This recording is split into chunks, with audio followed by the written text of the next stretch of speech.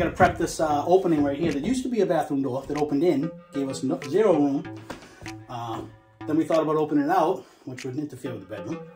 So we're gonna do a barn door, okay? We move the switch on the inside. So this has to get patched. I got some patching to do around here. But anyway, this will get patched. We're gonna put a barn door on, but before I put a barn door on, I'm gonna show you how easy it is to trim this jamb, which is the flat part top and the sides of the door, and then put casing, which is the door trim, on the outside and the inside. Have that thing finished, and then eventually, maybe a next video, I'll teach you how to install a barn door. All right, so I just got back from the Home Depot. I don't know if you've ever heard of the Home Depot, but they don't sponsor me, but I'm working on it. Anyway, so first thing, I grabbed a couple packages of shims in case I need them. This is a package of door trim. Two packs, one for the inside of the bathroom, one for the outside. All right, I think it was 28 bucks. It's already primed. It's real pine. Door jamb kit, okay? This is the two flat sides and the top, all right? This is made for a two by four wall, which the interior walls of my house are two by four, okay? So it's like four and nine sixteenths or whatever it is. These are gonna go sitting on the flat, one on the top, and then the casing will wrap around both sides and make it look beautiful.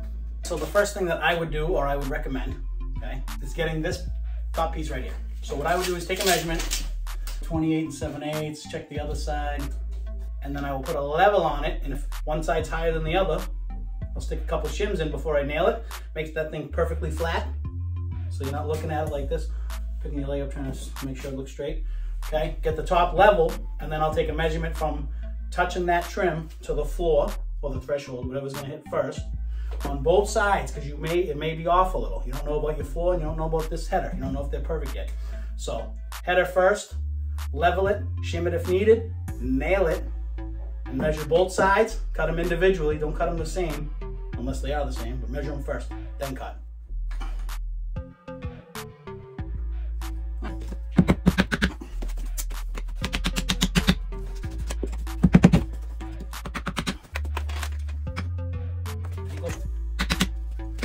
Right, so before I nailed it, I made sure it was flush on either side. I had to tap it just a little, make sure it was flush on both sides. So when I put my uh, casing around this thing, it sits nice and flat against the wall. I ended up measuring both of these the same because they were, all right. Should be able to work these bad boys right in place, okay. They fit right up underneath nicely, okay, like so. All right, so if you look closely up here, the stud's a little crooked too, so I recommend getting the speed square, hooking this thing on your trim flat, sliding it over, and I don't know if you can see this, but there's a gap right here, okay? I want this thing to stay tight against my square so I know that it's square, so I take another shim,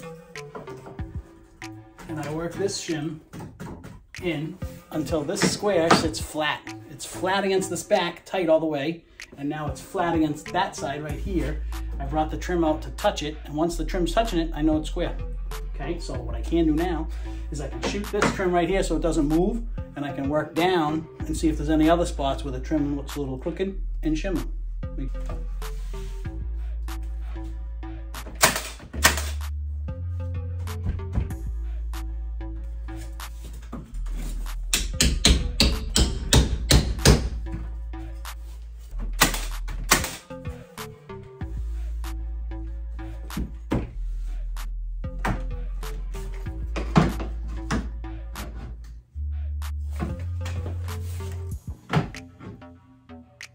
All right, so my trim's gonna sit flat on the wall. Okay, it's gonna get a 45 degree angle cut right here, and it's gonna line up on that corner right there. So I'm gonna measure from the floor to my cross, that quarter inch in this way and quarter inch up uh, across. So from the floor to the cross, that'll be my short point. And then I'll cut a 45 degree angle up like that. And then on this side, do the same thing. From the floor up to my quarter inch mark, okay?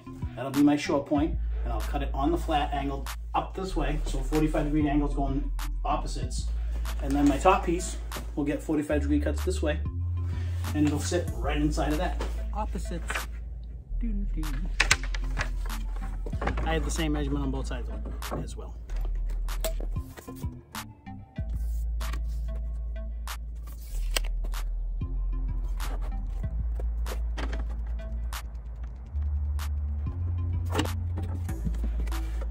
every day.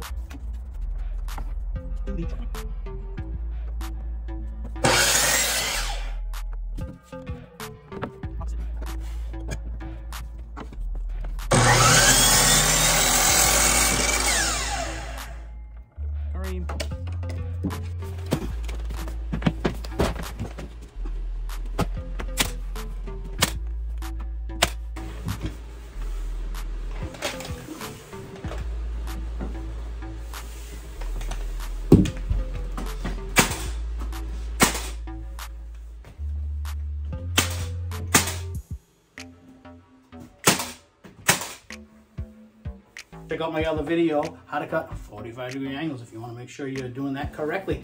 This bad boy goes in, it gets glued, it gets stuck in, it gets shot from the angle and then shot through the face. All right, so Titebond 2. You can use any kind of wood glue, but I am using this one because I have it. Anyway, wood glue on your 45. Okay, totally recommend it. Because if you don't, you're gonna nail this thing up, and if you don't prime and paint it and caulk it right away, it's gonna separate. And even if you do paint it and caulk it, it might open up a little bit. So wood glue will help it not open. All right, now I'm gonna use the brad nail. The nails are a little smaller, they're inch and a quarter. I'm gonna shoot this thing from the corner, like just like a picture frame.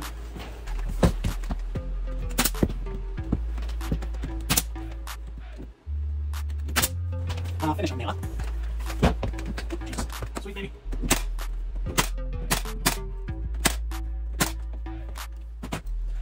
Voila. So we will paint this. So what I'm gonna do, since it's already primed, I will caulk the edges. I will caulk in between the trim. There's little tiny gaps here and there. We'll caulk the whole thing and eventually it gets painted and everything looks beautiful. I just want you to know. Look at that. All right, there's my trim. Floor to ceiling. Thanks for watching. Johnny Works.